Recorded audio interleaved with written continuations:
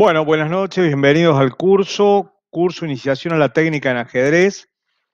Hay 26 participantes de cuatro países, de México, de Perú. Acá alguien está con el, con el micrófono abierto y lo cierro. Hay de Perú, de México, de eh, Colombia, de Argentina, de muchos lugares de Argentina. Este curso es para gente que no sabe nada de ajedrez y en la clase de hoy va a salir jugando. Y gente que conoce algo, nunca tomó una clase, tiene muy pocos conocimientos y bueno, quieren empezar bien en el mundo del ajedrez. Un hecho muy interesante de este curso que hay mayoría de mujeres. Normalmente en los cursos de ajedrez se inscriben 30, hay 28 varones y dos mujeres. En este curso creería que es por la serie Queen's Gambit, hay mayoría de mujeres que quieren aprender a jugar al ajedrez, lo cual es muy positivo. Bueno, vamos a empezar explicando qué es el ajedrez, cuáles son los objetivos del juego, cómo es algo de la historia del ajedrez. El ajedrez es un juego milenario, ya se conoce que se jugaba en el año 800, ya hay datos ciertos de que se jugaba ajedrez en el año 800. Es introducido por los árabes, bueno, surge posiblemente en la India o en Persia, la mayoría de los términos del juego, inclusive el nombre del término ajedrez, es, viene de al-Shatranj, que significa en, en sánscrito el rey se ha muerto. El mismo nombre del juego tiene que ver con la característica del objetivo del juego, que es ganar al rey rival, matar al rey rival. Shahmat, esa que utilizamos, jaque mate, es el rey se ha muerto. Shah, ustedes recordarán el Shah de Persia, era el rey de Persia. Entonces está vinculado entonces ya con eso. Y en el año 1000 entra a Europa por dos vías, entra por España con la invasión árabe a la península ibérica y también entra por Rusia. Y bueno, es difundido en toda Europa y es jugado en todas las cortes europeas y en el año 1475 ya se está jugando con las reglas actuales. O sea que antes del descubrimiento de América ya se jugaba ajedrez con las reglas actuales. Es un deporte absolutamente universal, se juega en todos los continentes. La Federación Internacional de Ajedrez tiene 196 países eh, federados. Se juega con las mismas reglas y es un juego que es interesante porque si yo quiero jugar al truco o a cualquier otro juego, me tengo que poner de acuerdo cómo vamos a jugar. Me voy a una plaza de Vietnam sin saber una palabra de vietnamita, me siento entonces en un café en Mongolia o me siento a jugar al ajedrez en el continente africano, en medio del continente africano, y veo gente jugando al ajedrez, va a jugar con las mismas reglas que nosotros estamos jugando aquí. Eh, el ajedrez, además de ser un juego, un juego que se puede practicar a todas las edades, no es más difícil que aprender a sumar, por eso chicos de cuatro años, y no estoy hablando de genios. Un chico normal, en un jardín de infantes, a los cuatro años puede aprender a jugar al ajedrez. Puede aprender a jugar al ajedrez una persona de 78 años, como una señora Alvira Turina, que aprendió a jugar a esa edad y empezó a jugar torneos, bueno, ya falleció, pero participó, no era solamente una aficionada al ajedrez, sino jugadora federada que participaba en torneos abiertos y fue campeona provincial de la categoría seniors. Hay jugadores como por ejemplo Horacio Amil Meilán, que tiene 96 años y que está participando en torneos. El año pasado, cuando había actividad presencial, ganó un torneo Horacio, el arquitecto Horacio Amil Meilán. Además de ser una actividad deportiva, ¿y por qué es deportiva? Uno dice, bueno, pero no es físico. Bueno, tampoco hace falta utilizar mucho el físico para el deporte de tiro. Hay otros deportes que son, se dice que la mayoría de los deportes tienen una parte mental y una parte física, la proporción es más o menos un 70 y un 30, un 80 y un 20. En el ajedrez los valores son inversos, hay un 20% de físico y un 80% de, de preparación técnica mental, psicológica también, pero a diferencia de lo que pueden algunos pensar, los grandes jugadores realizan un arduo entrenamiento físico. Un ajedrecista de élite no hay ninguno con obesidad entre los mejores 100 del mundo, hacen un entrenamiento como un deportista, entrenando todos los días como un plan de entrenamiento como haría un deportista de cualquier otro deporte. Es básicamente un deporte, yo soy un árbitro internacional, se organizan campeonatos nacionales, se juega la Olimpiada, ya está dentro del movimiento olímpico, todavía no pudo entrar a las Olimpiadas como eh, deporte de la Olimpiada, pero sí como deporte de exhibición en Sydney 2000.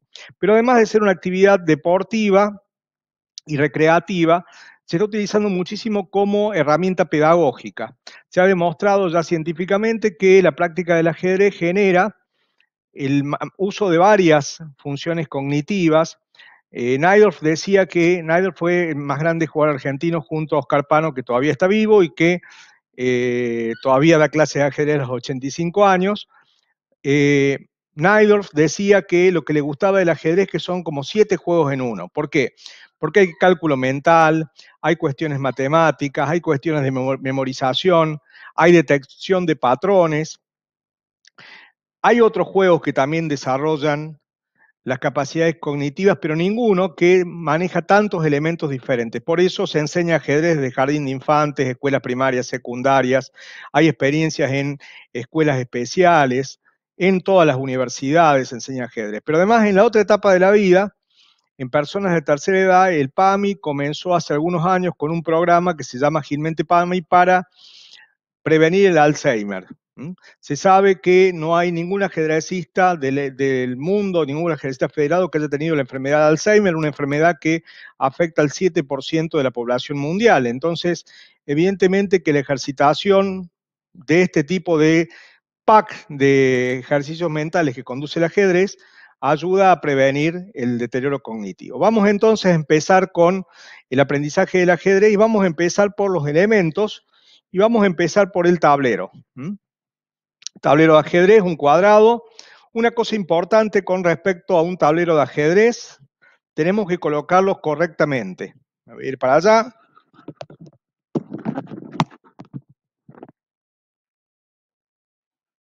Así está bien.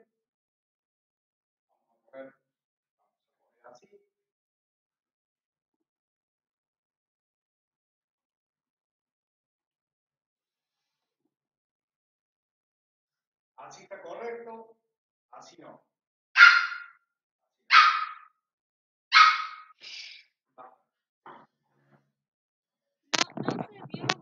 Bueno, ahí lo estamos viendo en el tablero ahí. A la derecha tiene que haber una casilla blanca. ¿Mm? Para empezar a jugar una partida de ajedrez, a la derecha tenemos que tener una casilla de color blanco. Levantamos la mano derecha ¿Mm?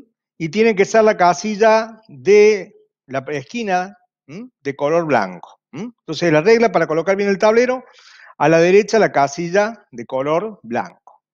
Si comenzamos con el tablero mal ubicado, a la derecha casilla negra, tenemos que anular la partida y jugar en un tablero bien ubicado.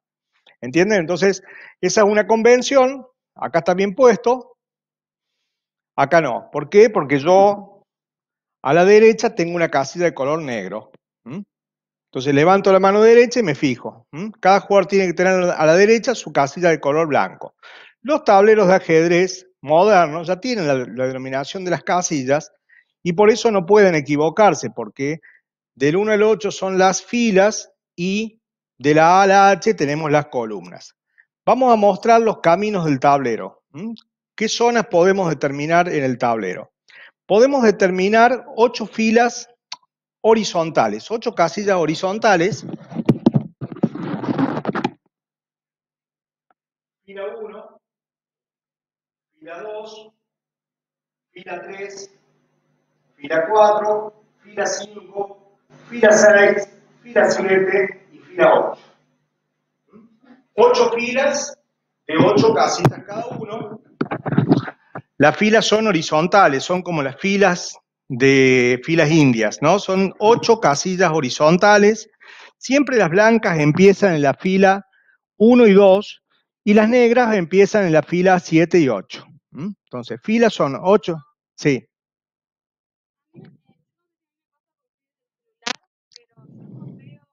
Bueno, yo le pasa que estoy compartiendo. Perfecto, entonces le voy a mostrar de, otra, de otra cámara. Vamos a dejar de presentar, pero sería entonces... Eh, ahí estamos. Vamos a mostrar entonces en un tablero digital. Tenemos en el tablero 8 filas de ocho casillas cada uno, tienen los nombres fila 1 a fila 8. Vamos a esperar que está un poquito lento. Si no lo vemos acá, también lo podemos ver acá. Vamos a ver acá.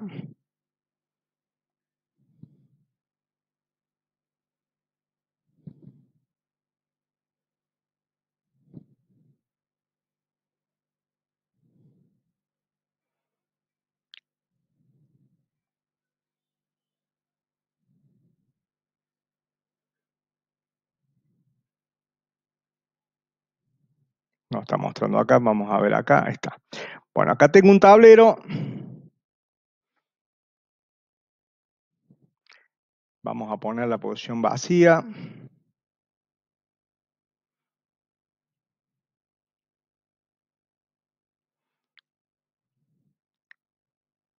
Ocho casillas horizontales forman una fila. Ahí estoy marcando filas. Hay ocho filas en el tablero de ajedrez. Cada una de las filas tiene ocho casillas y se llaman fila 1, fila 2, fila 3, fila 4, fila 5, fila 6, fila 7 y fila 8. Las blancas siempre empiezan en la fila 1 y en la fila 2. Y las negras empiezan en la fila 8 y en la fila 7. Cuando ustedes tengan un tablero grande, ¿se vio ahí? Estoy compartiendo pantalla. No, no se vio. Perdón, ahí les voy a mostrar. Perdón que con esto tuve que hacer un cambio. Está. Acá estoy mostrando fila 1, fila 2, son 8 casillas horizontales. Cuando empezamos a jugar, las blancas empiezan en la fila 1 y 2 y las negras en la fila 7 y 8. Bien, tenemos también 8 casillas verticales que como sostienen el techo las columnas se llaman columnas como las columnas que sostienen el techo. Columna A tiene nombre de letras, columna B, columna C, columna D, columna E, columna F, columna G. Vamos a correr esto. Y columna H. 8 filas, 8 columnas, 64 casillas. También tenemos casillas que se pueden agrupar en forma oblicua ¿Qué son las diagonales? Tenemos la gran diagonal negra y tenemos la gran diagonal blanca. ¿Por qué le llamamos la gran diagonal? Porque tiene ocho casillas. Mientras que las filas y las columnas tienen un número de ocho casillas, las diagonales alternan desde dos hasta eh, ocho casillas. Tenemos, por ejemplo, una diagonal, dos diagonales, son 26 en total. 3, 4, 5, 6, y así seguimos sumando, hasta contar 26, y hay 26, hay 13 también de esta, en esta posición, porque también son diagonales. Fíjense la característica que tienen las diagonales. Las diagonales siempre lo forman casillas del mismo color. Y hay en total 26 diagonales, de las cuales dos son las grandes diagonales blancas y negras, la gran diagonal blanca, la más larga del tablero. Y después hay cuatro diagonales que tienen seis siete casillas, mejor dicho, cuatro de siete, cuatro de seis. Esta también tiene siete casillas, son las diagonales. Bien, también podemos determinar un sector más importante del tablero que son estas cuatro casillas,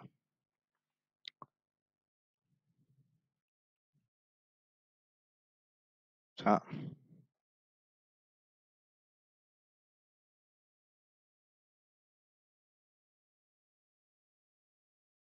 a poner así.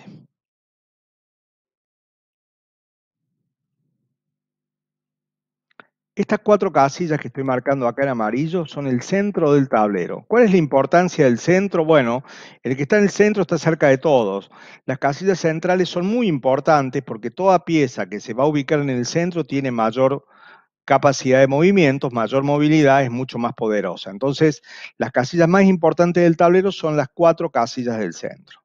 Al lado de las cuatro casillas del centro, hay 12 casillas no hace falta que ustedes sepan el número, pero sí el concepto. Vamos a marcar en rojo.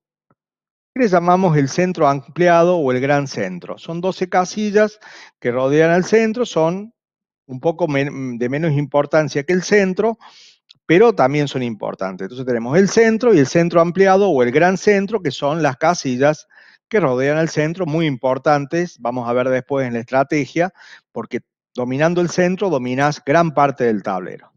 Después tenemos las casillas que están a un paso del borde, a marcarlo en verde.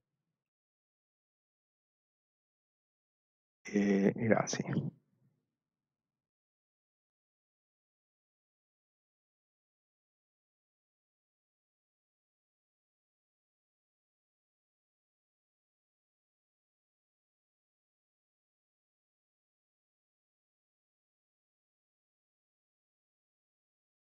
Me están dando el marcador de verde. Bueno, perdón. Que son las que están a un paso del borde, que son las que. Ahí, descubrí cómo se hace. Que se llaman preborde. Son 20 casillas que están a un paso del borde. Centro, gran centro, centro ampliado, preborde. Y por último, las peores casillas del tablero las vamos a marcar en rojo son las de los bordes del tablero. 4 del centro, 12 del gran centro, 20 del preborde a un paso del borde, mientras que tenemos, eh, tenemos 28 de los bordes, que son las peores casillas del tablero. Bueno, ya hemos conocido bastante del tablero, sabemos cuál es el sector más importante, identificamos líneas, columnas y diagonales, y lo que nos falta ver es que cada una de las casillas tiene nombre, y es muy importante saber el nombre de las casillas. Esta es, por ejemplo, C3, donde se cruza la columna C con la fila 3, C3. ¿Mm? Esta casilla, yo la voy a marcar, ustedes después piensan cómo se llama, ya les digo yo cómo se llama, E4. Voy a marcar otra casilla. Esa casilla donde es la intercepción de H con 7 es H7.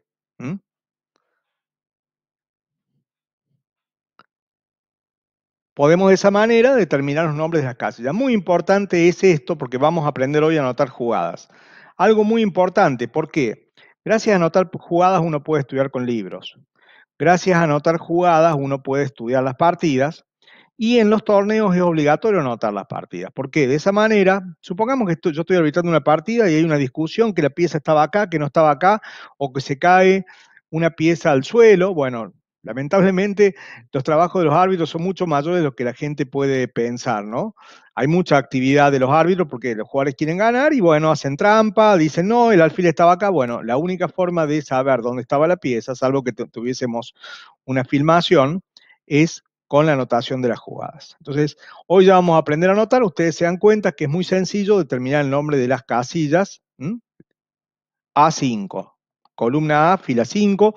Muchos tableros ya traen los nombres. Acuérdense cuando empiezan a jugar, a la derecha casilla blanca y en la fila 1 y 2 juegan las blancas al comienzo y las filas 7 y 8 juegan las negras.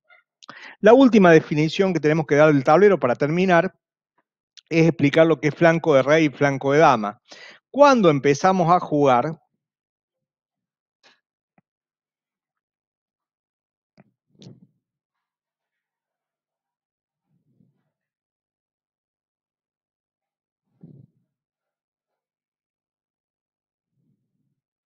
Este es el rey y esta es la dama, no digan reina, pues reina eh, dice alguien que no sabe jugar al ajedrez. Si ustedes entran en un club de ajedrez y dicen reina, lo van a ver con, como alguien que no sabe jugar. Em, cada pieza tiene su letra, entonces R para rey y D para dama, la dama. Bueno, entonces tenemos ¿Cómo se coloca el rey y la dama al comenzar la partida? Bueno, la regla es muy simple. Yo enseño muchas veces a chicos de 6 años.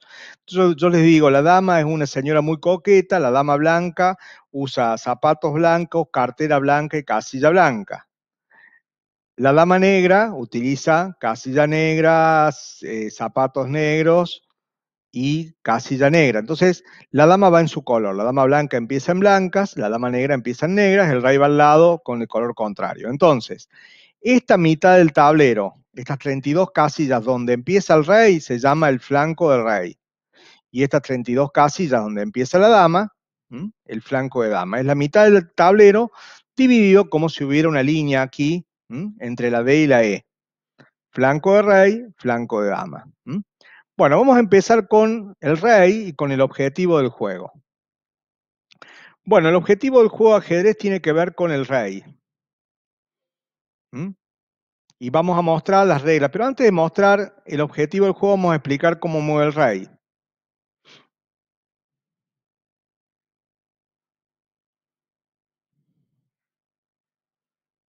El rey es un rey oriental, un rey de Persia, que no, no, no peleaba en las, en las, batallas, se quedaba en el palacio disfrutando con su harén, entonces no, no, no peleaba. Entonces es una pieza bastante poco fuerte y se mueve un paso para todos los lados. O sea, el rey se puede mover un paso para todos los lados, también cuento eh, recursos mnemotécnicos para niños.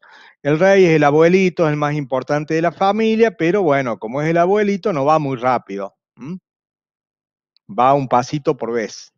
Usa bastón, entonces va un paso por vez. Entonces, vamos a marcar acá dónde puede ir el rey, perdón.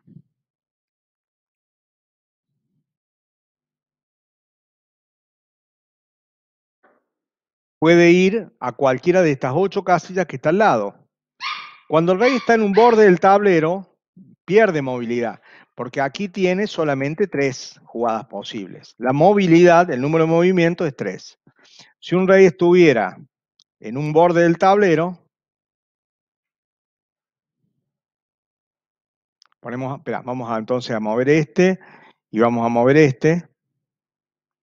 Si estuviera un borde, tiene cinco movimientos. Cinco movimientos posibles, vamos a marcar los cinco movimientos que puede hacer el rey. Bueno, hemos explicado el movimiento de rey y ahora vamos a explicar el movimiento de la dama para eh, entender cuál es el objetivo del juego. La dama en realidad no es, no es femenina, no es dama. En realidad el origen del juego era Fers. De hecho, en, en ruso el nombre de la dama es Fers. Fers es general en persa. Eh, de ahí viene la palabra alférez. Alférez es el FERS, un grado militar que hay. Entonces, no era lógico que fuera la dama porque, o la reina, porque primero si hubiera sido el juego oriental de Persia eran 50 reinas tenía el rey, ¿no? Tenía muchas mujeres. Segundo, ¿cómo llegó a ser reina? Bueno, en España, en 1492, se decidió, en el caso de los reyes católicos, homenajear a la reina Isabel, que era reina, no era la esposa del rey, era reina de Castilla, con eh, transformándolo en reina. Pero el, el, juego original era general. Y de hecho, en muchos países, en muchos idiomas, viene del nombre Fers, que en ruso, por ejemplo, es general. Entonces, ¿cómo se mueve la dama? La dama es una pieza más poderosa que hay. Se mueve vertical horizontal y diagonal todos los pasos que uno quiera. O sea que se mueve como el rey, pero mientras que el rey se mueve una, casilla, la dama tiene uno, dos, tres y todos los que vos querés. ¿Cuántos pasos mueve la? Todos los que quieran. Puede moverse en horizontal.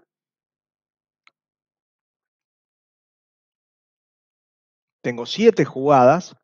Puedo moverme en vertical. También tengo 7 jugadas, 7 más 7 son 14. Puedo moverme en esta diagonal de 6 casillas. Tengo 20 jugadas diferentes. Y puedo moverme en la gran diagonal 7 jugadas más. 7 más 7 más 7 más 6 son 27. 27 significa que la dama domina 27 de las 64 casillas del tablero, casi el 45%. ¿Y qué me sirve que domine tantas casillas? Que cualquier pieza que está en una casilla en verde, la dama se la come. O sea que si yo estoy jugando con negras, no me conviene poner ninguna pieza. Si yo, por ejemplo, tuviese una torre aquí,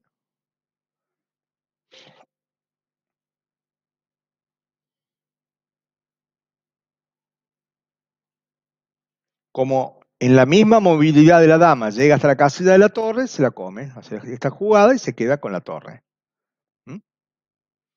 Fíjense lo poderosa que es la dama. Para mostrarles la importancia del centro, decíamos que la dama en cualquiera de las cuatro casillas centrales tiene 27.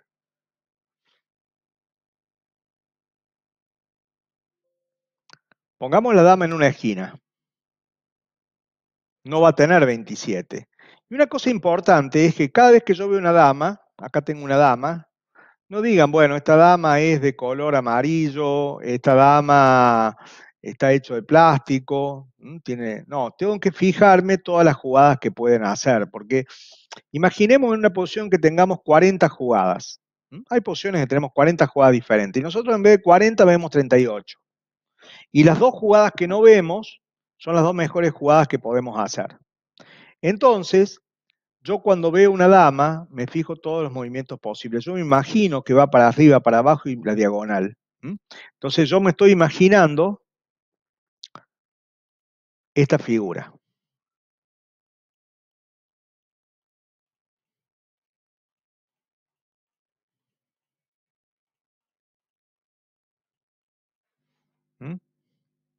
Acá no son 27, son 21.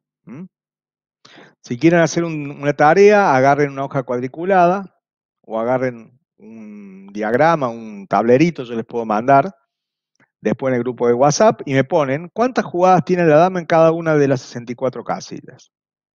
Van a ver que hay una regularidad en cuanto al número de jugadas posibles de la dama en cada una de las casillas. En estas 4 tiene 27, en estas 12 tiene 25 y no les quiero decir más. Pero fíjense que en el centro tiene más jugadas. Bueno, vamos al objetivo del juego. Muchas veces uno aprende a jugar y no aprende, entiende bien el ajedrez porque no saben el objetivo del juego. Aprenden a mover los peones y no saben cuál es el objetivo del juego. Reglas que determinan el objetivo del juego de ajedrez. Cómo se gana una partida de ajedrez. Primero, el rey es la única pieza que no se puede capturar. Las otras cinco piezas, torre, alfil, caballo, dama, peón, se pueden comer tranquilamente y sin problemas. ¿Puede comer una dama un caballo? Sí. ¿Puede comer una torre, un alfil? Sí. ¿Puede eh, comer, eh, cualquiera puede comer a cualquiera, pero la única que no se puede comer es el rey. No existe posición en ajedrez que no estén los dos reyes en el tablero. Es un privilegio del rey que siempre está. Si ustedes ven una posición de un libro que no están los reyes, vamos a agarrar un libro acá de ajedrez cualquiera, y vamos a ver una posición cualquiera,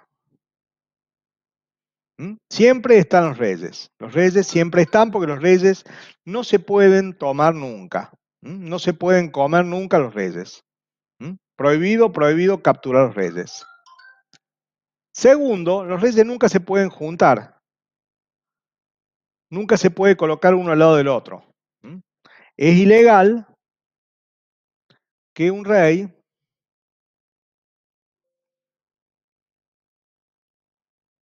pueda colocarse al lado del otro rey. No es legal eso. Nunca se pueden juntar los dos reyes. Eh, para recursos mnemotécnicos son muy gordos, tienen mucha barriga, entonces se ponen los dos juntos, no entran. Nunca se pueden juntar los reyes. Entonces, ¿cómo se gana una partida? La tercera regla. Cada vez que el rey está atacado, cada vez que el rey está en jaque, significa el rey está atacado, debe eludir inmediatamente la amenaza. Entonces, vamos a poner una posición ya con rey y dama.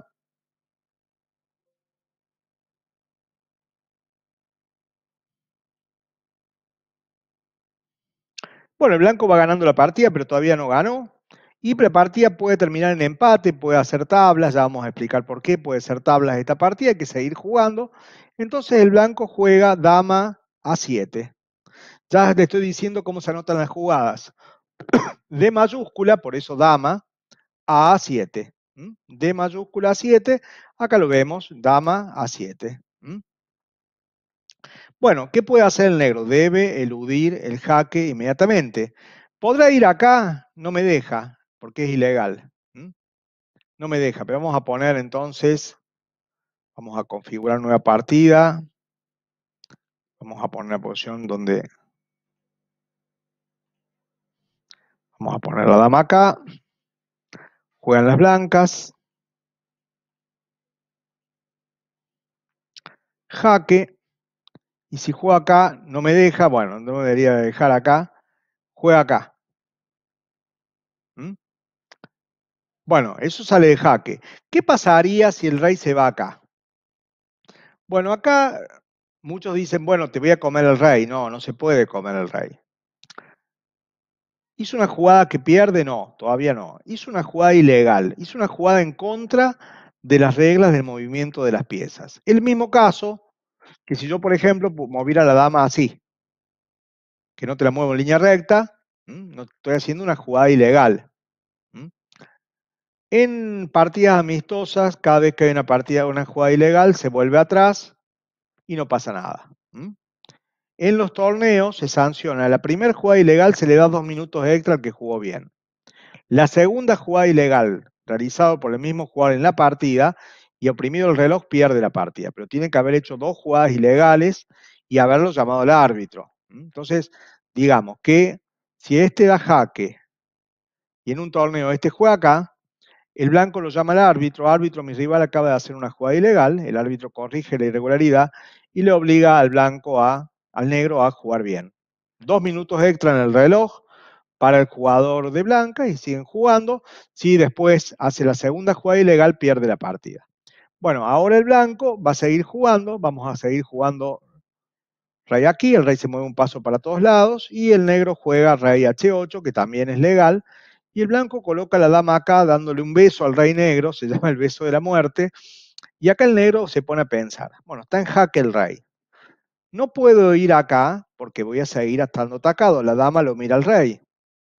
No puedo ponerme acá porque me junto con el otro rey, cosa que es ilegal. Nunca pueden estar los reyes uno al lado del otro.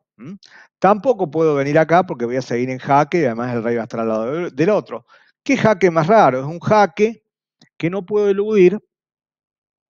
Entonces jaque mate y gano el blanco. ¿Cómo se gana entonces la partida de ajedrez? En base a la regla 3.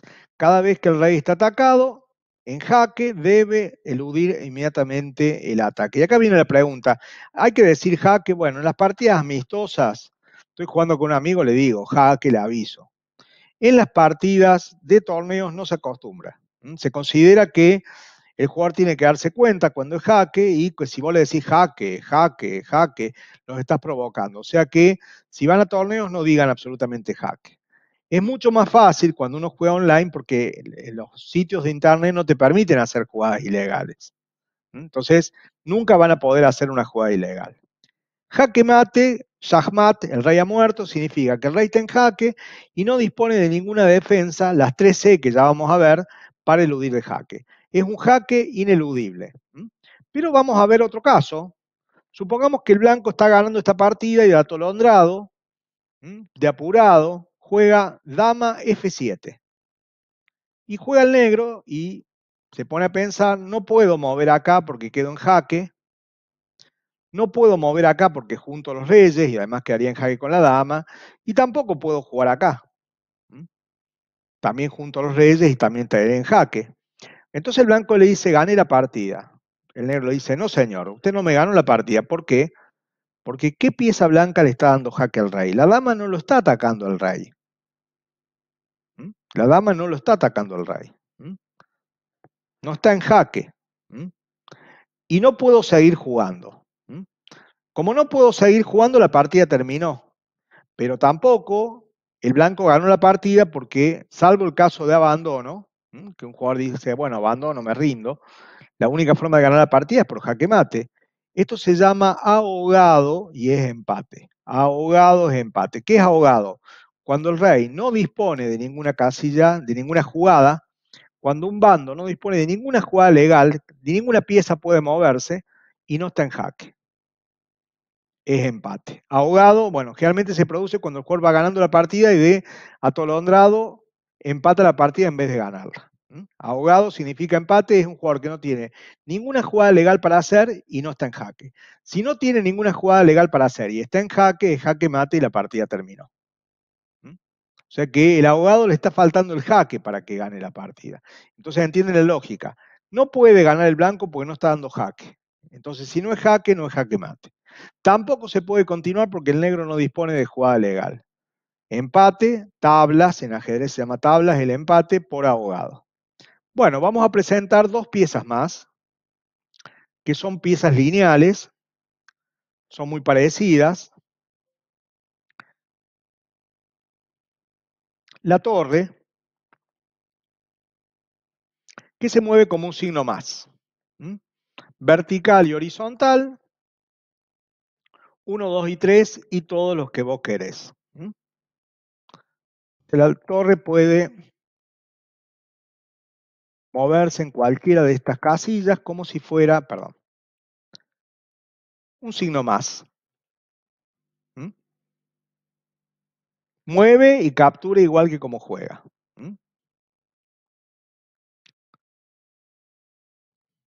Y vamos a presentar el alfil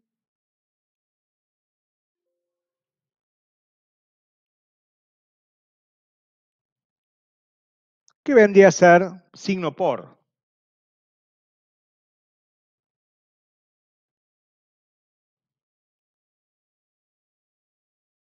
Por las diagonales se mueve el alfil. ¿Cuántas jugadas tiene el alfil acá? 13. Pero no en todo lugar tiene 13. Si tuvieran A1, tiene solamente 7 jugadas. La torre más el alfil configuran la dama. La dama tiene todos los movimientos de torre y de alfil. La dama se puede decir que se mueve como torre o como alfil. En cada jugada elige si quiere jugar como torre o si quiere jugar como alfil. Una cuestión importante con los alfiles. Los alfiles nunca pueden cambiar de color. Por eso, el jugador al comenzar la partida tiene uno que va por blancas y otro que va por negras y no se cruzan nunca. Eso de que el alfil controla un solo color es un gran defecto. Imaginemos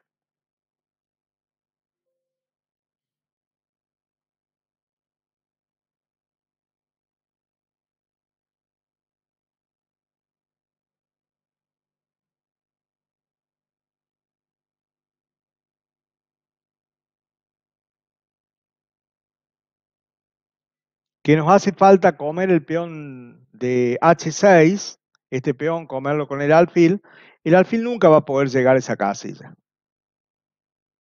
Y esta posición, a pesar de que el blanco tiene un alfil de ventaja, no se puede ganar. ¿Por qué? Porque el alfil nunca va a poder comer el peón. Entonces el alfil tiene ese inconveniente.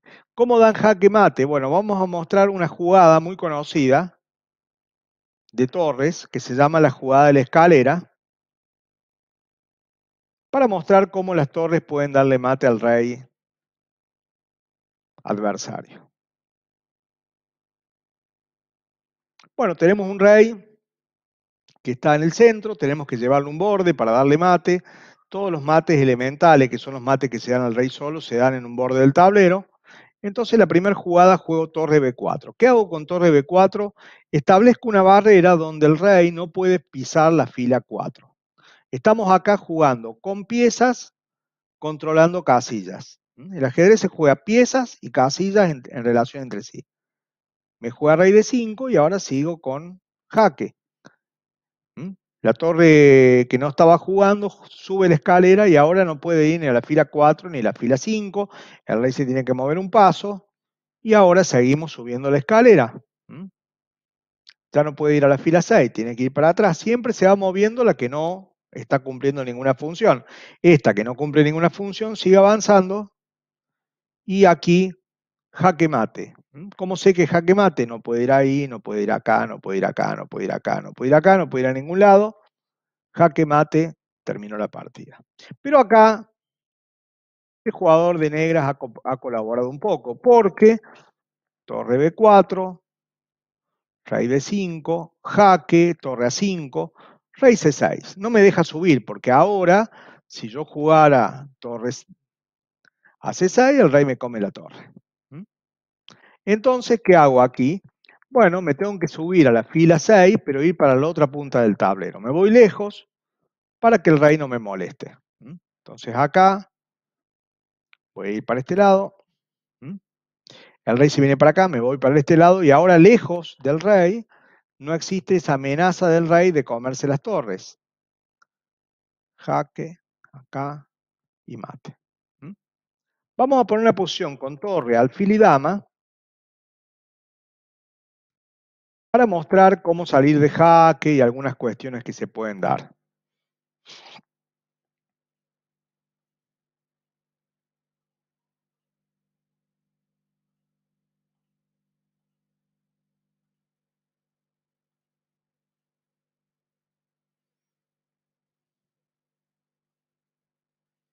Bueno, esta es una posición legal. No hay peones, pero puede ser que se hayan comido todos los peones. Todas las piezas se pueden comer menos los reyes. Y la pregunta es, ¿a quién le toca jugar?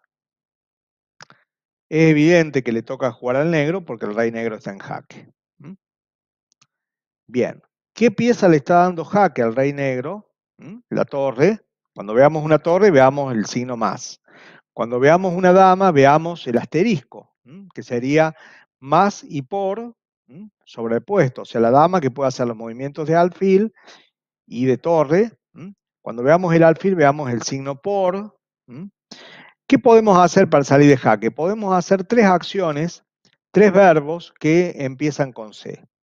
Podríamos comer la pieza que da jaque, capturar la pieza que da jaque, la mejor jugada. Eliminas la torre del rival, una cuestión importante, en ajedrez todas las capturas, la pieza que captura cae en la casilla donde estaba la anterior. Ustedes saben, en el juego de las damas, el alfil pasaría por encima de la torre, no. Cuando vos capturas en ajedrez, ocupas la casilla de la pieza que está anteriormente. Puedo hacer de dos formas, puedo sacar la torre del tablero y llevar el alfil a la casilla, o puedo llevar el alfil, desplazar la torre y sacarla y esa torre no juega más. O sea que cuando comen, donde comió, cae la pieza. Puedo también cubrir, cubrir esta para el jaque, y en este caso, salgo de jaque, pero no sería tan eficiente como comer la torre. De hecho, aquí el blanco me comería la torre en la próxima jugada. Y el rey puede comer piezas, por supuesto que sí puede comer piezas el rey, pero lo que no puede hacer es quedar atacado. Si yo como, quedo en jaque, por eso no puedo jugar.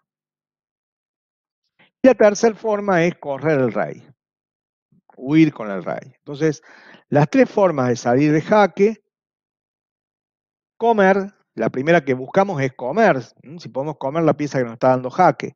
La segunda es cubrir, tapar el jaque. Y la tercera es capturar, es correr, perdón, ahí me puse. Ahí tendría que ser capturar, cubrir y correr, correr. Ahí error correr el rey. Comer, cubrir, correr en ese orden. ¿Qué pasa si está en jaque y no puede comer, cubrir, correr? Jaque mate, la partida terminó. ¿Mm? Bueno, les voy a mostrar. Les conviene crearse una cuenta en liches.org. Liches.org, crean una cuenta, le piden un correo electrónico. Yo les recomiendo que no pongan el nombre de ustedes se llaman, ponele Soledad García, ponen Soledad García, no, pónganse, qué sé yo, Hijitus 44, pónganse Blancanieves 18. ¿Por qué? Porque, bueno, si ustedes ponen su nombre, después les pueden servir a los rivales para prepararse contra ustedes cuando juegan partidas en vivo. Crean el, en el ICHES una cuenta, les mandan la contraseña a un correo electrónico, es muy sencillo. Tengo que entrar aquí, vamos a cerrar sesión. liches.org es totalmente gratuito, no les cobra absolutamente nada. Van acá abajo donde dice registrarse, nombre del usuario. Pongo, por ejemplo, Boca es el más grande. Una contraseña que me voy a acordar. Y el correo electrónico. Les mandan a los pocos minutos les manda el, formulario de activación y se activan y ya tienen la cuenta. Si pierden la contraseña, con el correo electrónico también se puede ingresar. Una vez que ustedes ya tienen la cuenta creada, puede entrar acá al menú Aprender. Y vamos a hacer fundamentos del ajedrez. Sería bueno que ustedes hagan toda esta ejercitación que les va a permitir dominar el movimiento de las piezas. Vamos a, hacer vamos a empezar primero con el rey. Si cae en la batalla se pierde la partida. Comenzamos. Bueno, el rey es lento. Tengo que llegar, encontrar la ruta para llegar a la estrella. Captura todas las estrellas. Acá me dice que tengo que hacer. Porque una cosa es saber cómo se mueven las piezas y la otra es ver rápidamente el movimiento de la partida. Tengo que llegar a capturar todas las estrellas.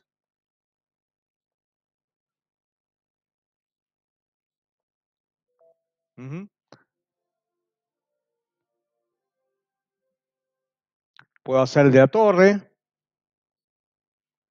Haz clic en la torre para llevarla hasta la estrella. Captura todas las estrellas. Mueve línea recta. Cuando menos movimientos hagas, más puntos ganas. Si yo voy aquí, voy a tardar 1, 2, 3, 4. Si voy acá, necesito hacer 1, 2, 3. Entonces me conviene esta ruta. Bueno, les recomiendo que hagan, es rápido y es fácil, todas las ejercitaciones de fundamentos del ajedrez. Por ejemplo, captura, captura piezas enemigas, comenzamos.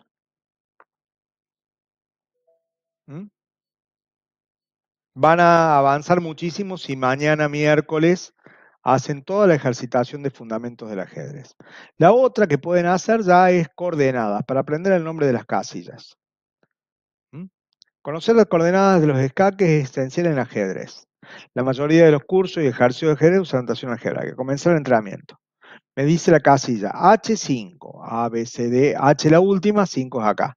C7, H1, F6, B5. Ya sé los nombres de las casillas y eso me permite después ponerle nombre a las cosas. Yo, por ejemplo, tengo que pensar así en una partida. Tengo dos opciones, caballo B4 o alfil B5. Si juego caballo B4, mi rival va a poder jugar alfil C8. Si yo juego, entonces, si yo no sé los nombres de las casillas, no voy a poder razonar.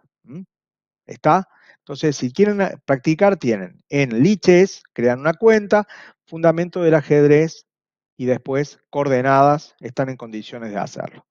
No hemos visto ya cuatro piezas, hemos visto rey, un paso para todos lados, la dama, como si fuera un asterisco, vertical, horizontal y diagonal, 1, 2, 3 y todos los pasos que vos querés. La torre como un signo más, 1, 2, 3, todos los pasos que vos querés. El alfil por las diagonales siempre mantiene el mismo color, como si fuera un signo por. ¿Cuántos pasos? Uno, dos y tres y todos los que vos querés. Y nos quedan las dos piezas de corto alcance que son el caballo y la torre y el peón. Vamos a empezar con el caballo. El caballo tiene un movimiento raro, pero tiene su justificación matemática. Y vamos a poner en un tablero de 5 por 5. Vamos a pensar que el tablero termina en la fila 5. Vamos a marcar todos los movimientos que tiene la dama en esta posición en un tablero pequeño de 5 por 5. Vamos a marcar primero las diagonales, después las verticales y horizontales. Bueno, me han quedado 8 casillas vacías. 8 casillas vacías. Ocho casillas que son de otro color, de donde está la dama ahora, no son negras sino son blancas, pero que no están al lado. Son las casillas de color contrario más cercanas, pero que no están al lado. Si yo acá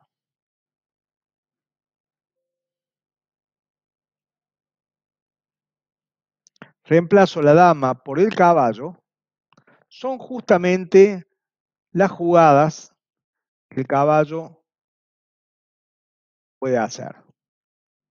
El caballo mueve dos derechos, uno doblando como si fuera una L, como una L mayúscula. Dos derechos, uno doblando, perdón. Dos derechos, uno doblando. Dos derechos, uno doblando. Pero mucho más, más fácil y mucho más lógico, ustedes tengan en cuenta lo siguiente. El caballo se mueve a las casillas de color contrario El alfil siempre mueve por el mismo color. El caballo siempre va, va cambiando. Si está en blanco va negra, si está en negra va blancas. De color contrario. Que no está al lado. O sea que son, por ejemplo, acá tiene justamente ocho jugadas. Vamos a poner otro caballo en otra posición.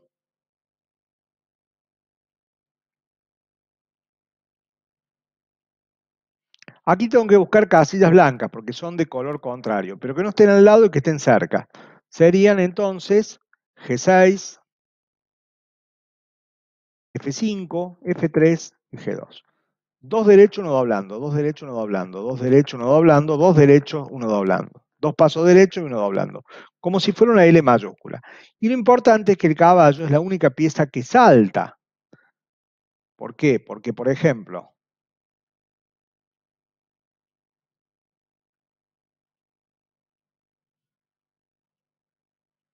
el caballo está en condiciones de saltar por encima de la torre, no le hace ni cosquillas, para capturar el alfil. La jugada que haría el caballo sería capturar el alfil. ¿Mm?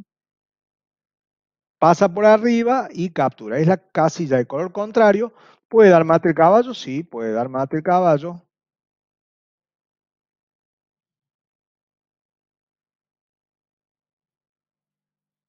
Y cuando el rey está muy encerrado por piezas enemigas, es una pieza ideal.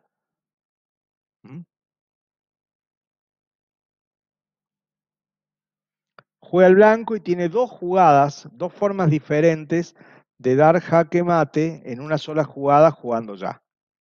¿Mm?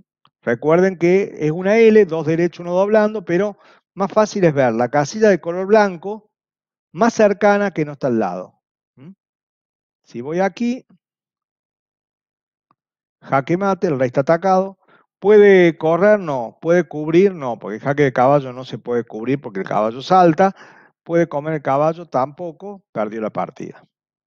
También podríamos dar mate con esta jugada. Como el movimiento de caballo exige un concepto especial, les recomiendo hacer estas ejercitaciones porque rápidamente, intuitivamente, en el sitio Lichess van a aprender a dominar el caballo. Tengo que llegar con el caballo a estas dos casillas. Voy al nivel 2, tengo que recorrer todas estas y tengo que pensar, voy aquí, voy acá, voy ahí, voy acá, voy ahí, voy acá y voy ahí. Bueno, acá tengo que ponerme a pensar un poco. Tac, tac, tac. Bueno, voy a ir acá, voy ahí, ¿Mm? Bueno, los caballos pueden saltar obstáculos. Primero tienen que saltar y después capturar todas las estrellas. Si lo hacen mal, tardan muchas jugadas, el sitio Lichess le va a decir tiene que hacerlo de vuelta. ¿Mm? ¿Mm? Hagan esta ejercitación, la pueden hacer mañana, así repasan el movimiento de caballo. Yo le he compartido un libro, un curso de ajedrez, donde estamos viendo todos los temas, le va a servir como repaso. Colocación del tablero, ataque con piezas. Eso va a estar en el grupo de Facebook. Y también le compartí un programa muy bueno que lo han compartido la Federación Uruguaya de Ajedrez, que se llama Ajedrez y Leyendas.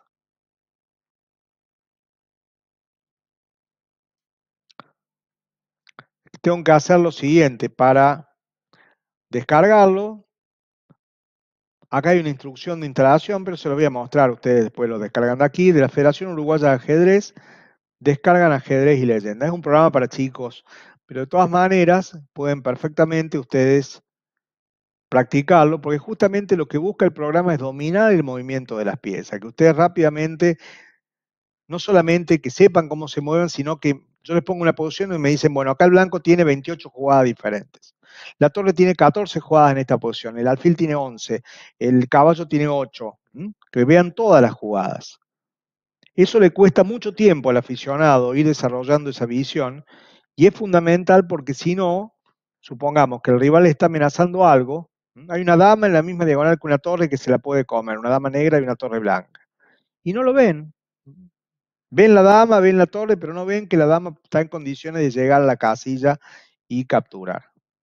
Bueno, una vez que los descargo, lo hablo con WinRAR, ahí se está terminando de descargar ajedrez y leyendas.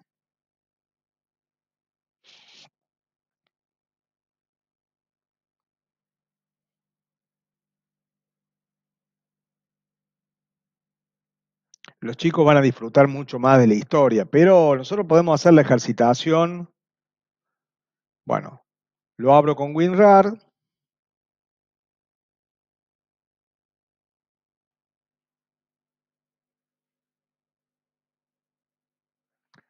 Me fijo donde lo voy a, dejar, lo voy a eh, descomprimir. Este es un programa que no se instala en el registro, por eso es un programa portable. Entonces, bueno, vamos a, crear una carpeta en mis documentos que le voy a poner AIL, ajedrez y leyendas. El truco, una vez que el programa se descomprime, busco en mis documentos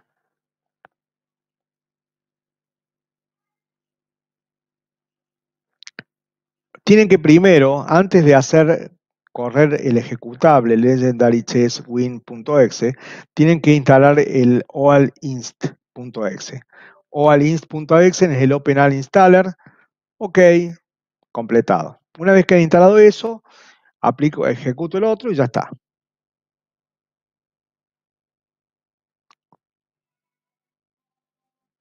Bueno, acá puedo jugar una partida, una partida rápida, eh,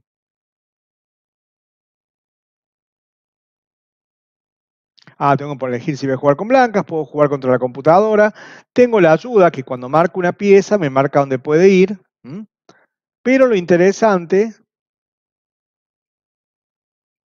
es eh, aventura. Tengo que recorrer cada uno de los castillos. Acá te enseña lo que es el ajedrez, cómo es la posición inicial de las piezas. Les explico la posición inicial. Dama en su color, la dama blanca en blanca, la dama negra en negra. El rey al lado en el color contrario. Al lado del rey y la dama, los alfiles. Son los escuderos del rey y la dama. Alfil significa el elefante en, árabe. Al-fil, el elefante, y eran tropas de, como si fuera un tanque, eran los elefantes. Los caballos y en las esquinas las torres y delante de cada una de las piezas los peones. Bueno, entonces un repaso. Empiezan siempre las blancas. Tablero, acá marca que a la derecha casilla blanca. Columnas, filas, diagonales. Bueno, terminé el primer juego. Voy al segundo castillo. Laberinto de torres, nivel 1, tengo que ir pasando, me muestra cómo juega la torre, me muestra cómo captura la torre, cómo empiezan las torres, otra vez el signo más de las torres. Bueno, tengo que recorrer y comer todas las llaves, pero si yo pruebo, me voy a quedar sin, sin vidas. Tengo que iniciar el recorrido mentalmente yo mentalmente le digo, bueno, a los chicos les digo, márcame con el dedo cuál es el recorrido. Ya lo hice el recorrido, entonces voy a jugar ahí, ahí. Tienen que ustedes imaginarse el recorrido antes de hacerlo. ¿Mm? Bueno, después tienen diferentes niveles. Pueden cambiar el tipo de pieza, no pongan esta, pongan esta siempre. Y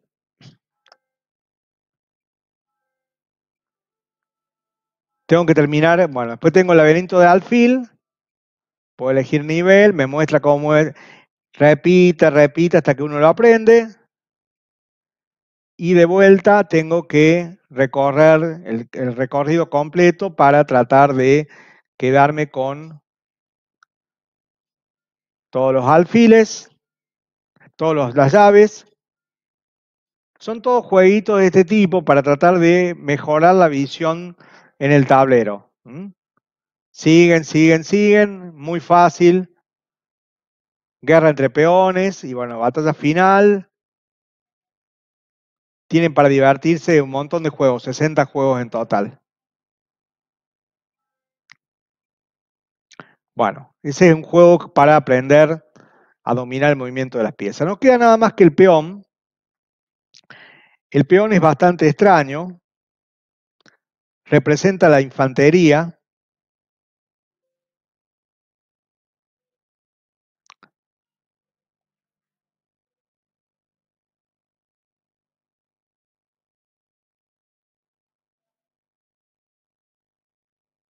Son soldados que siempre avanzan. El caso común es que siempre avanzan de un paso.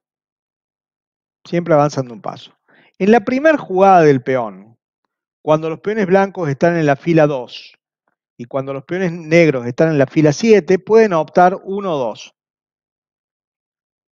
O sea que solamente en la primera vez pueden optar 1 o 2. Después, siempre uno.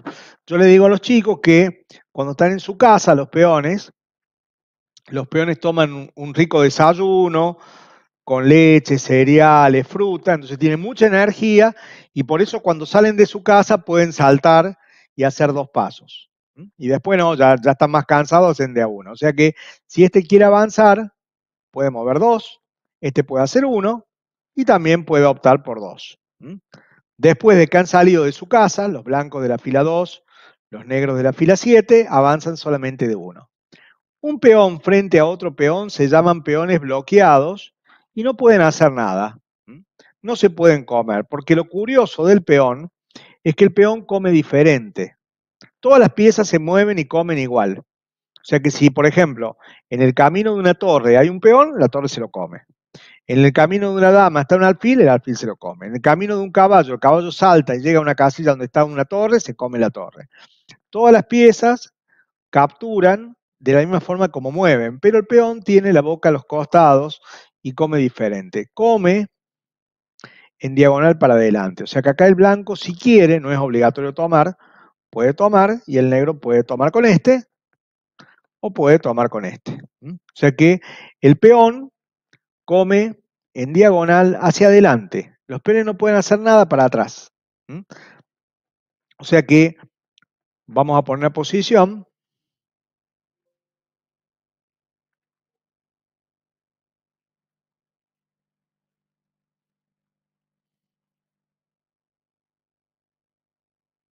¿Qué jugadas dispone el peón? Puede comer la torre, la come en diagonal. Puede comer el caballo, lo come en diagonal hacia adelante, en la jugada, en la casilla inmediata.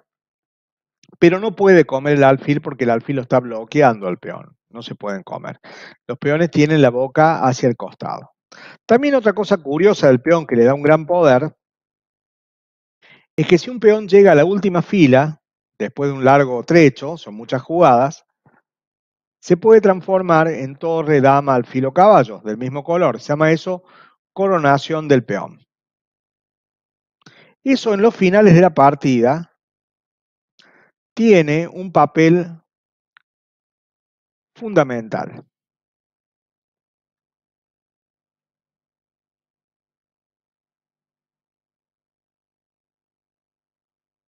Bueno, este es un final. Aquí las blancas dicen, bueno, voy a llegar primero, pero hay un detalle que no vieron. A4, mueve lo más rápido posible, el negro juega H5, ya el rey no llega. A5, H4, A6. Un detalle, cuando yo digo el nombre de una jugada pongo torre mayúscula A4. La torre va a 4. Caballo mayúscula E5. El caballo va a la casilla E5. Dama, no hay reina en ajedrez, dama mayúscula D8. La dama se va de 8. Con los peones digo directamente la casilla donde va. Esa es una, una convención. Bueno, las blancas llegan, piden dama, normalmente se pide dama, en algunos casos se pide caballo y pide dama. Tiene que mover el rey y las negras tienen dama de más y luego van a ganar la partida dando jaque mate. Les muestro cómo hacemos para dar jaque mate. Primero lo encerramos al rey, Traemos el otro rey para que nos ayuden a dar jaque mate. Cada vez el espacio del negro va siendo menor. Me digo a mí mismo, Alejandro, no tengo que ahogar. Sería muy tonto si lo ahogo. ¿Mm? Tengo la partida totalmente ganado. Hago una jugada. No, fue, fue ilegal esa jugada, perdón. Acá. Tengo la partida totalmente ganado. ¿Mm? Lo ahogo, quedo como un pavo, habiendo empatado una partida totalmente ganado. ¿Mm? Doy jaque. El rey se va acá. No es ahogado. Y doy jaque mate, no me pueden comer, porque si me comen, quedan los dos reyes juntos y no se pueden nunca colocar un rey al lado del otro rey. Bien. Normalmente se pide dama y podés tener hasta nueve damas, no importa las piezas que se han comido, podés tener nueve damas en el tablero sin problemas. Pero a veces pedimos torre, les muestro un caso de por qué nos conviene pedir torre. Y ahí les pregunto a ustedes para que ustedes me digan por qué en este caso es preferible pedir torre, escríbanlo,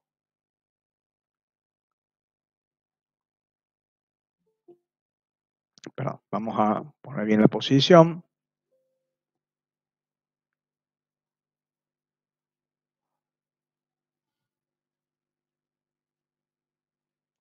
Bueno, acá el blanco está ganando la partida, va a coronar en la próxima jugada. Puede pedir dama, puede pedir torre, puede pedir alfil, puede pedir caballo. ¿Por qué le conviene pedir torre? Escriban ahí en el chat de, de, de Meet por qué,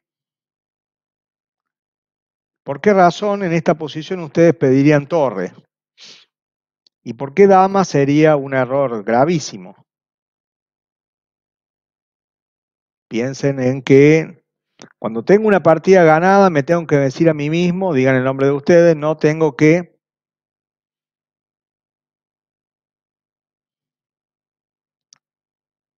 Sí, no tengo que ahogar, porque si pido dama, el rey no tiene ninguna jugada legal para hacer, no está en jaque, tablas por ahogado.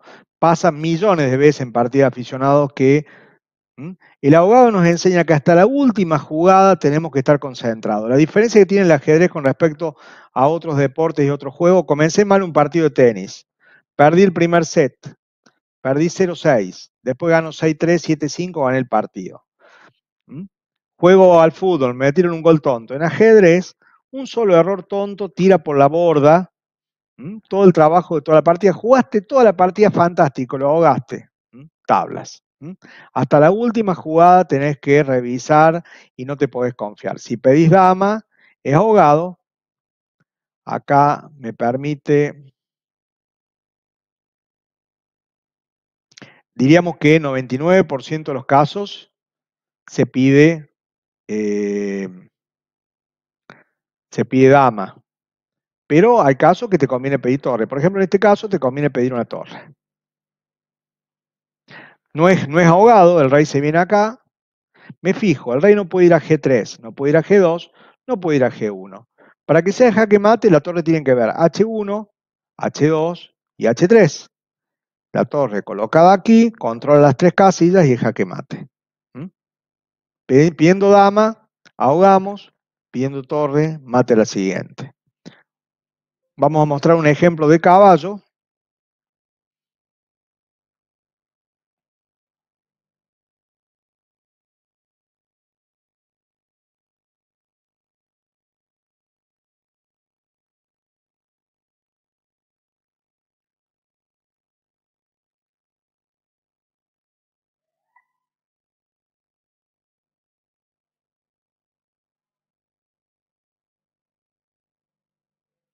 Bueno, en esta posición juegan las negras. Creo que puse jugar las blancas, tengo que poner.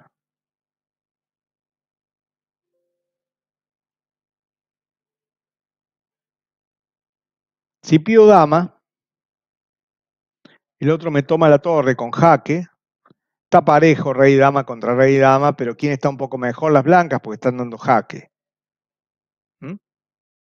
Pero pido caballo, el caballo está dando jaque al rey, atacando al rey, atacando la dama al mismo tiempo, debe salir de la amenaza moviendo el rey. Y en vez de quedar igual, quedo con un caballo y una torre de ventaja. Por eso, cuando entra con jaque, muchas veces conviene pedir caballo. Esto se llama coronación menor o promoción menor. Bueno, sabemos todas las piezas, nos falta una regla más con el peón. Hemos hablado de eh, la coronación del peón, cuando el peón llega a la última fila, se transforma inmediatamente en dama, torre, alfilo, caballo. Normalmente es dama, pero a veces pedimos torre, alfilo, caballo. Y otra cuestión, una regla bastante rara, que no la conocen, por ejemplo, los aficionados que nunca han ido a torneos, inclusive gente que participa en los torneos después me consulta cómo es esto, que es la captura al paso. Peón por peón al paso. Diría, que la mayoría de los jugadores que juegan ajedrez y que no han participado en torneos no saben qué es la captura al paso y por qué se originó. Bueno, un concepto muy importante en ajedrez en los finales son los peones libres, los peones que van solos hasta la coronación. Vamos a ponerlo acá. Y vamos a poner la dama negra acá, el rey negro acá, ¿no? Están los reyes ahí. Entonces, en esta posición, el peón de D3 está cuidando el avance del peón de 4 y el peón de 4 está cuidando el avance del peón de D3. Cualquier peón que avance, el otro lo come. Si este peón avanza aquí, este lo come y viceversa. Ninguno de los peones sería peón libre. Peón libre sería, por ejemplo, si no estuviera el peón de T6 o si no estuviera el peón de E5, sería un peón que va libre hacia la coronación sin peones enfrente y sin peones enfrente lo bloquean en las columnas adyacentes, en las de al lado, porque de esa manera los capturan. Pero hacia 1475, la última gran modificación del ajedrez fue que los peones empezaron a mover dos pasos. Estábamos justo llegando al Renacimiento, un cambio en la, en la concepción del hombre. Se produce la última gran reforma del ajedrez. Y se dijo, los peones pueden avanzar en la primera jugada un paso o dos. Antes eso no existía. Imaginemos la primera partida que se jugó con los peones que podían avanzar dos pasos. Seguramente en una feria se apostaba, y acá el blanco jugó a cuatro, dos pasos, y acá el negro, eh, pero ¿cómo es eso? Escúchame una cosa, si este peón detiene a este y este a este, si este peón detiene a este y este a este, esta misma situación en la fila 2, si este peón negro no puede avanzar porque el blanco lo toma, debería darse el mismo caso de los casos anteriores. Entonces, para mantener ese concepto de que si hay un peón en la columna adyacente, en la columna de al lado, ese peón no es libre, se dijo lo siguiente, un peón avanza dos pasos, el otro, si quiere, puede capturarlo como si hubiera avanzado uno. Se llama captura al paso, es legal, sí, desde 1480, ¿no? O sea, no, es absolutamente legal y, bueno, la gente no lo conoce, ¿no? Entonces, vamos a explicar de vuelta. Un peón avanza dos pasos en la primera jugada. Otro peón, la única pieza que puede ser comida al paso del peón y la única que puede comer el paso del peón. Ataca la casilla de paso del peón puede comerlo en la jugada siguiente, no 10 jugadas después, sino en la próxima jugada, no en forma obligatoria como si hubiera sido un solo paso. ¿Mm? ¿Por qué se creó la regla de peón al paso? Porque si no, el peón de A4 iría camino a la coronación, ya el rey negro no llega, y sería un contrasentido porque la misma situación que se da en la columna D y E y en la columna G y H debería cumplirse con la columna A y B. Para mantener esto, ese concepto de que si hay un peón en la columna al lado, ese peón no es libre, si un peón avanza dos pasos, se coloca al lado de otro peón enemigo, este, si quiere, en la próxima jugada, lo puede capturar como si fuera un solo paso, como si hubiera avanzado un solo paso. Por ahí, supongamos a veces en los torneos, jugadores saben que existe el al paso, pero se olvidan o no lo tienen muy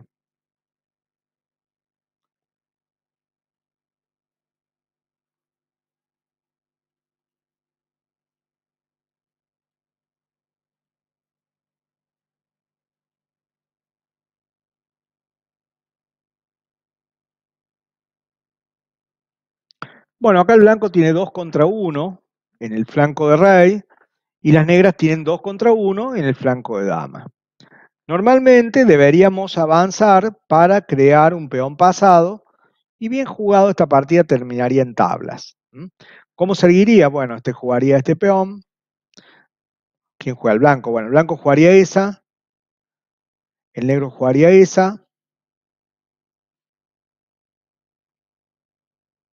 El negro crearía un peón libre, el blanco tomaría.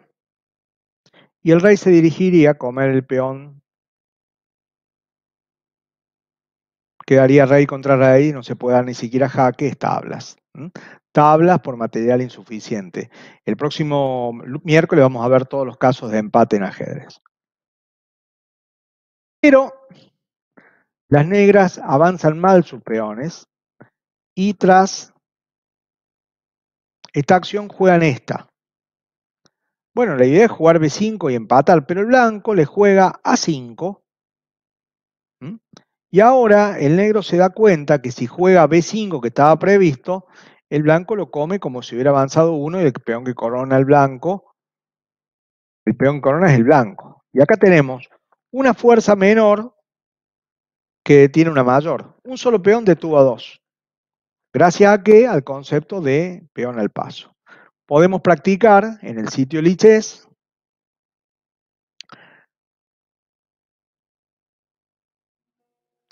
nivel 6 el peón y va a haber casos de peón al paso.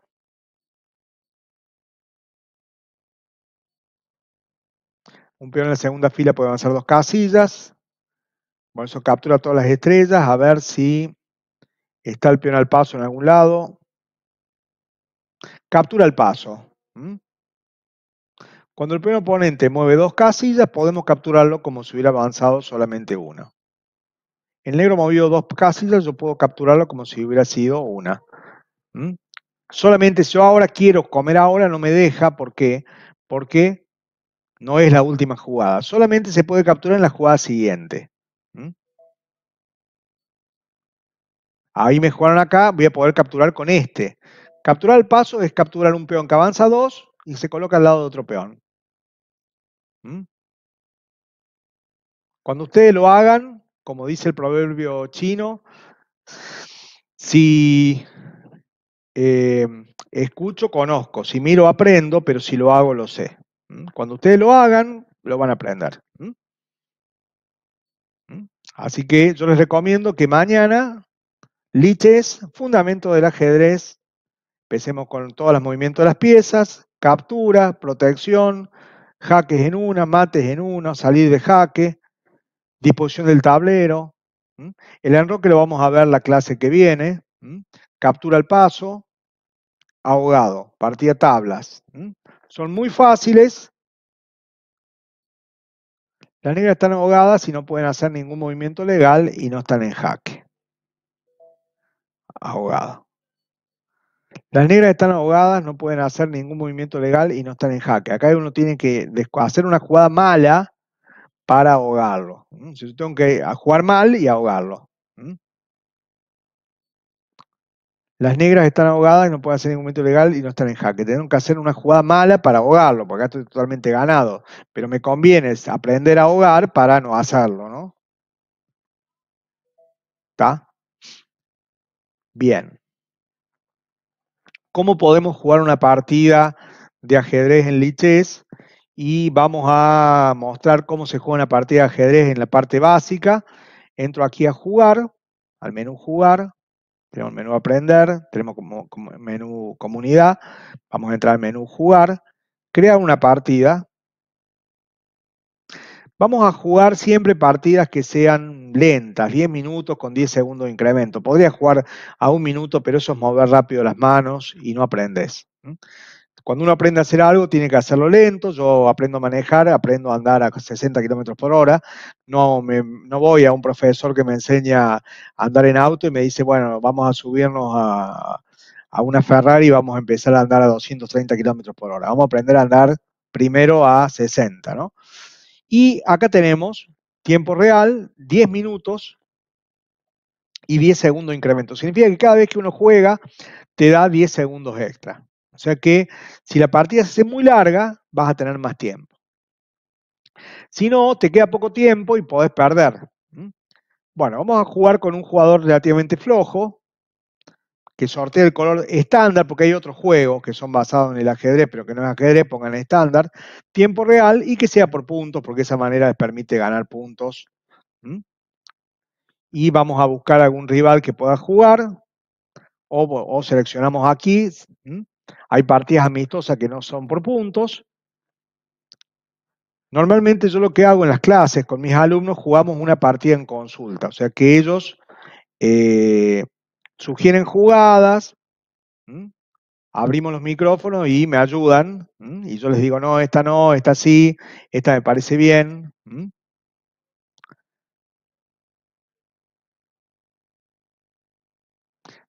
Vamos a jugarle a este. Y quiere jugar 15 minutos y 5 segundos de incremento. ¿Qué hago comenzar la partida? Domino el centro con los peones.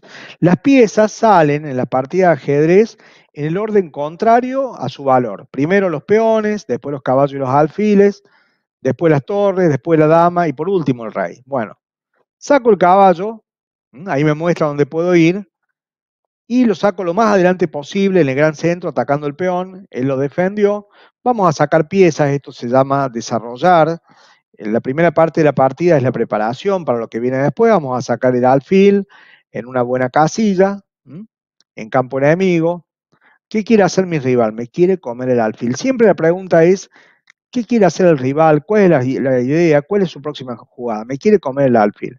Me voy a ir. Bueno, de vuelta, ¿qué quiere hacer mi rival? Me quiere comer el alfil, me voy a ir. ¿Mm? Jugando en internet no podemos cometer errores porque no me va a dejar. Supongamos si yo quisiera jugar la dama por acá, no me la va a dejar pasar. ¿Mm? ¿Mm? No me deja hacer jugadas ilegales. Bueno, vamos a jugar a seguir sacando piezas. Podríamos hacer una jugada especial con rey y torre que se llama enroque, lo vamos a ver el miércoles. Es la última gran regla que nos falta, sabemos todas las reglas de movimiento de las piezas.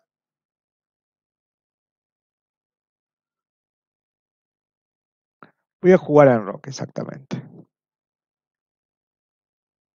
Yo tengo tres piezas sacadas, caballo, alfil y torre, mi rival tiene una sola, dos ahora con el alfil. Y vamos a para el centro. Quiero jugar D4, quiero avanzar el peón dos pasos. Él me ataca el peón, pero bueno, yo voy a atacar. Si me come el peón, tengo previsto un truco. Bueno, si me toma el peón con el caballo, yo atacaba a los dos.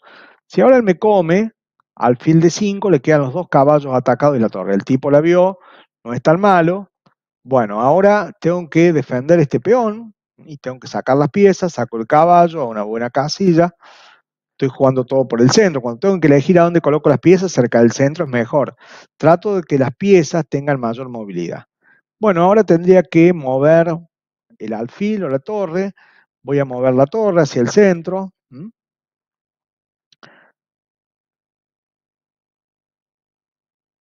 Estoy un poco mejor, mis piezas juegan un poco más que las de él.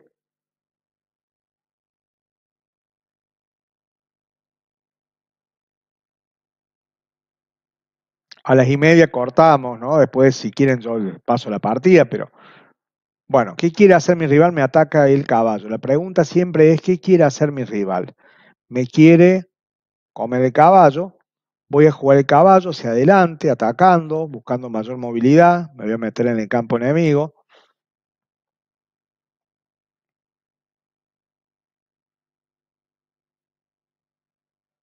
Hasta ahora tenemos los dos el rey muy seguro.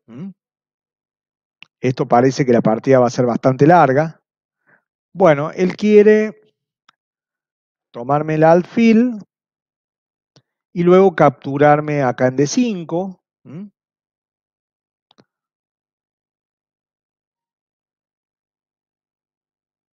Vamos a jugar jaque. Caballo por alfil, jaque. Ahí está en rojo el rey. Él va a tener que tomar con dama. Y yo voy a retirar el alfil aquí donde defiende el peón.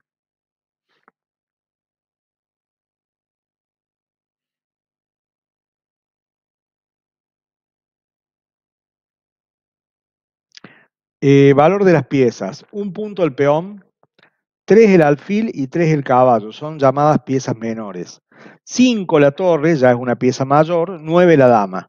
Todos tienen valores impares. Uno el peón, tres el alfil, tres el caballo, las piezas menores. Cinco la torre, nueve la dama. Pero si un jugador tiene los dos alfiles y el otro no, podemos considerar eso como medio peón. Yo voy ganando por medio peón, según mi cálculo. Bueno, se fue para atrás para el caballo, con el caballo. Vamos a jugar la dama.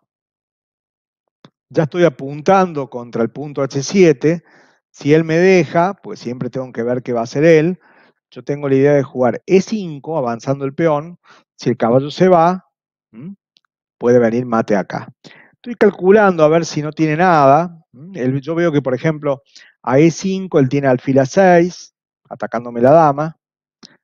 Pero yo podría jugar dama F5 y sigo atacando. Entonces vamos a hacer E5, peón por, peón por, caballo por, caballo por. Está bien, así que vamos a jugar E5. Si él mueve caballo, yo gano la partida porque juego dama, come en H7, jaque mate, él lo va a ver. Yo siempre espero que mi rival juegue bien, no espero que mi rival juegue mal.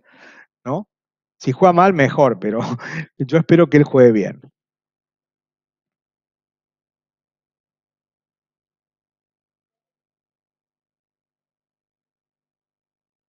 ¿De dónde es este señor? Puedo acá hacer clic, no dice de dónde. Puedo saludarlo.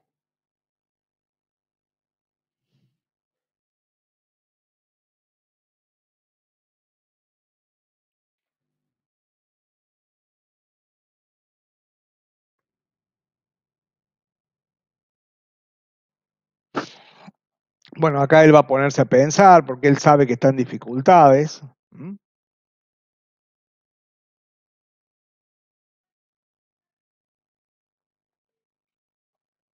Acá sale el puntaje que uno va ganando. Bueno, tomo de vuelta, atacando el caballo.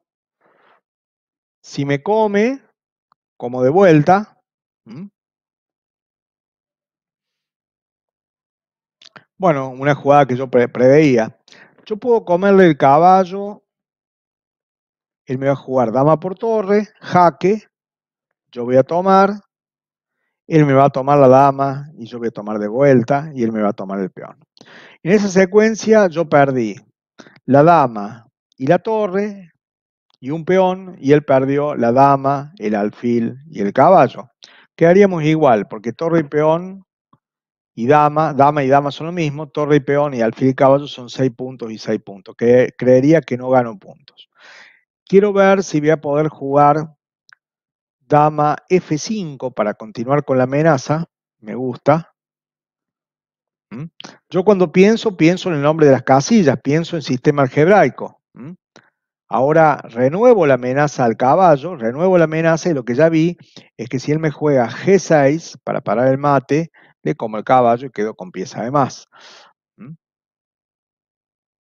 Por eso les, digo, practiquen con los ejercicios de lichess y si quieren los ejercicios de ajedrez y leyendas, eso les va a encantar a los chicos, los ejercicios de ajedrez y leyendas, para dominar todos los movimientos de las piezas y también los ejercicios de coordenadas para saber el nombre de las casillas.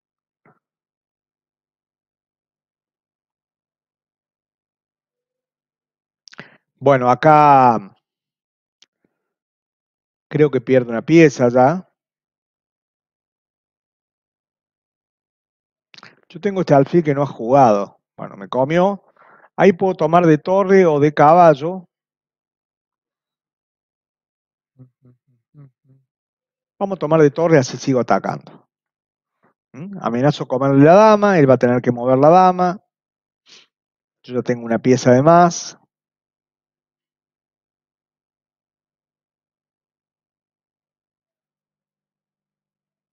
Yo mientras él piensa, yo también pienso mi jugada. Yo veo que, por ejemplo, una jugada probable es dama de 6, poner la dama aquí. ¿No ves? En la que yo hice, pensé, me la hizo, voy a jugar alfil G5 para reiterar la amenaza. Ahora mi amenaza es comer el caballo y luego dar mate en H7. No le veo defensa potable. Si G6 le juego dama por caballo y le gano una pieza, creería que él aquí va a abandonar o en la jugada siguiente o en la otra, está perdido acá, va a quedar con dos piezas de menos, no es un jugador tan flojo, casi 1900. Estos rankings están un poquito inflados, en realidad en el ajedrez Elo sería 1700, sería 200 puntos por encima. Pero bueno, ahí creería que voy a ganar la partida. Bueno, el próximo miércoles seguiremos con las reglas que faltan. Pero bueno, ya saben todas las reglas para jugar ajedrez. Esto yo lo voy a grabar ahora en YouTube si lo quieren repasar. No es difícil. Lo más importante es entender el objetivo del juego. Como les dije, el abandono. Y lo último que quiero mostrar que acá se puede aprender mucho porque voy a tablero de análisis y puedo acá solicitar el análisis del ordenador. El mejor jugador del mundo ahora está en mi casa. Se llama Stockfish. El campeón mundial Magnus Carlsen tiene 2.880 puntos. El programa Stockfish está arriba de 3.650. Stockfish le gana a Magnus Carlsen con la misma facilidad que Magnus Carlsen me gana a mí. O sea que es el mejor jugador del mundo. Entonces, eh, gracias a esto podemos ver cuántos errores cometí, cuántas imprecisiones, cuántos errores, cuántos errores graves y poder repasar los errores cometidos. Vemos eso y ya terminamos por hoy. Espero que les haya gustado, compartan el video, inviten a nueva gente a, la clase del día miércoles, del miércoles 21 horas vamos a ver reglas de torneo, vamos a ver casos de tablas que la gente no conoce, vamos a ver la regla de pieza tocada, cómo se aplica. Bueno, he jugado bien esta partida, he jugado tipo máquina, ¿no? Cometí una imprecisión en toda la partida. Y él cometió tres imprecisiones, un error y cero errores graves.